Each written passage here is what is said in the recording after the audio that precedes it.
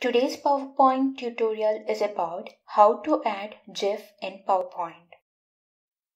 First, I'm going to show you how to download GIF image from Google. For that, type GIF images in Google search. In images, you can see all the GIF images. As I'm using this for creating a YouTube video, I'm giving usage rights as Creative Commons licenses. If you are creating PPT for personal use, you can download it without giving Creative Commons licenses. Here, I am planning to use a banana GIF image. From pixy.org, I am downloading this GIF image. In PowerPoint, click on Insert, then Pictures.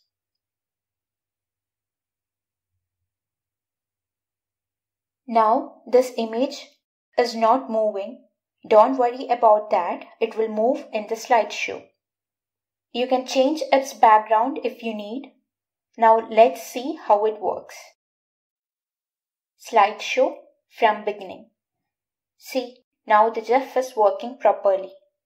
The next method is you can download it from PowerPoint itself. For that, click on Insert, Online Pictures. I'm typing GIF cartoon. I'm selecting this boy image and click on Insert. Then click on Slideshow. So this tutorial is over actually, but if you need to see how to edit this to match your presentation, please stay here for some more time. First I'm changing the slides background to the same as GIF image. For that, format background. In color, select eyedropper. Now the background color is same. Now I'm moving this image to left end of the slide. Then I'm giving animation as custom path.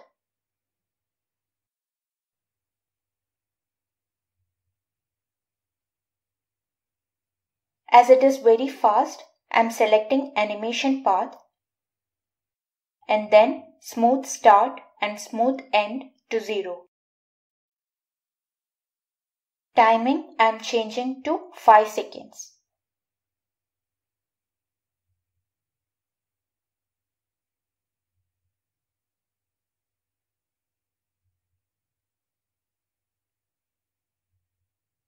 Now I'm adding a text box and I'm typing some text. Changing its font size, font type, color, style and all.